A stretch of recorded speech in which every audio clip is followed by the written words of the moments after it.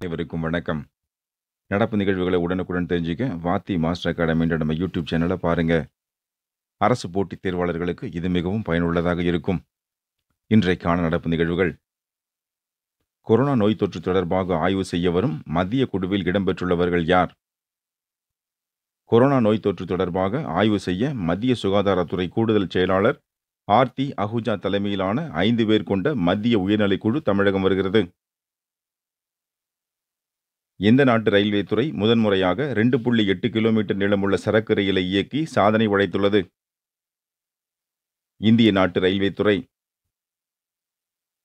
அரியலூரில் புதிதாக தொடங்கப்பட உள்ள மருத்துவக் கல்லூரிக்கு அடிக்கல் நாட்டியவர் யார்? தமிழக முதல்வர் திரு. எடப்பாடி பழனிசாமி. நாடு முழுவதும் உள்ள எத்தனை கலங்கரை விளக்கங்களை சுற்றுலா தலங்களாக மேம்படுத்த மத்திய கப்பல் போக்குவரத்து துறை அமைச்சகம் முடிவு செய்துள்ளது. நூற்று தொன்னூற்று நான்கு கலங்கரை விளக்கங்கள். வெளிநாடுகளில் வாழும் இந்தியர்களை விமானம் மூலம் தாயகத்திற்கு அழைத்து வரும் திட்டத்திற்கு பெயர் என்ன? வந்தே பாரத் மிஷன் திட்டம். இந்தியா சீனா இடையே எப்போது மோதல் ஏற்பட்டது? பதினைந்து ஆறு இரண்டாயிரத்தி இருபது அன்று இந்தியா சீனா இடையே மோதல் ஏற்பட்டது. இந்த மோதலில் இந்திய தரப்பில் இருபது ராணுவ வீரர்கள் இறந்துள்ளனர். இந்தியா சீனா இடையே நிலவி வரும் பிரச்சனையில் இந்திய ராணுவத்திற்கு துணை நிற்போம் என்று கூறியுள்ள நாடு எது? அமெரிக்கா. இந்தியா குளோபல் வீக் என்று மாநாடு எப்போது தொடங்க உள்ளது? இந்திய பொருளாதார வளர்ச்சிக்கான உலகளாவிய வாய்ப்புகளை உறுதிப்படுத்தும் விதமாக பிரிட்டன் தலைநகர் லண்டனில் இந்தியா குளோபல் வீக் என்ற தலைப்பிலான பொருளாதார மாநாடு ஜூலை ஒன்பது முதல் ஜூலை பதினொன்று வரை நடைபெற உள்ளது. இந்த மாநாட்டில் பிரதமர் மோடி காணொலி முறையில் உரையாற்ற உள்ளார் எந்த மாநிலத்தில் உள்ள வரலாற்று சிறப்புமிக்க தலைமைச் செயலக கட்டிடத்தை இடிக்கும் பணி தற்போது நடைபெற்று வருகிறது? தெலுங்கானா மாநிலம். இந்த தலைமைச் செயலக கட்டிடத்திற்கு ஒருங்கிணைந்த ஆந்திர மாநிலத்தின் முன்னாள் முதல்வர் திரு என் டி ராமாராவ் சர்வஹிதா என பெயரிட்டார். சமீபத்தில் எந்த நாட்டு அதிபருக்கு கொரோனா தொற்று ஏற்பட்டுள்ளது?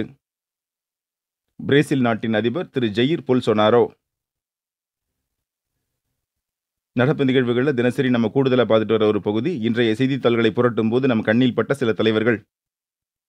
மத்திய சுகாதாரத்துறை கூடுதல் செயலாளர் ஆர்த்தி அகுஜா மத்திய ரயில்வே துறை அமைச்சர் திரு பியூஷ் கோயல் தமிழக உணவுத்துறை அமைச்சர் திரு ஆர் காமராஜ் தமிழக தலைமைச் செயலாளர் திரு கே சண்முகம் தமிழக சுகாதாரத்துறை செயலாளர் திரு ஜே ராதாகிருஷ்ணன் மத்திய வெளியுறவுத்துறை அமைச்சர் திரு எஸ் ஜெய்சங்கர் மத்திய ரயில்வே மற்றும் வர்த்தகத்துறை அமைச்சர் திரு பியூஷ் கோயல் மத்திய உள்நாட்டு விமான போக்குவரத்து மற்றும் நகர்ப்புற வளர்ச்சித்துறை அமைச்சர் திரு ஹர்தீப் சிங் புரி மத்திய தகவல் தொழில்நுட்பத்துறை அமைச்சர் திரு ரவிசங்கர் பிரசாத் மத்திய திறன் மேம்பாட்டுத்துறை அமைச்சர் திரு மகேந்திரநாத் பாண்டே கேரள மாநில முதல்வர் திரு பினராயி விஜயன் தெலுங்கானா மாநில முதல்வர் திரு சந்திரசேகர ராவ் மத்திய தகவல் ஒலிபரப்புத்துறை அமைச்சர் திரு பிரகாஷ் ஜவடேகர் ஆந்திர மாநில முதல்வர் திரு ஜெகன்மோகன் ரெட்டி பிரேசில் நாட்டு அதிபர் திரு ஜெயிர் பொல்சோனாரோ நேபாள நாட்டின் அதிபர் திரு கே.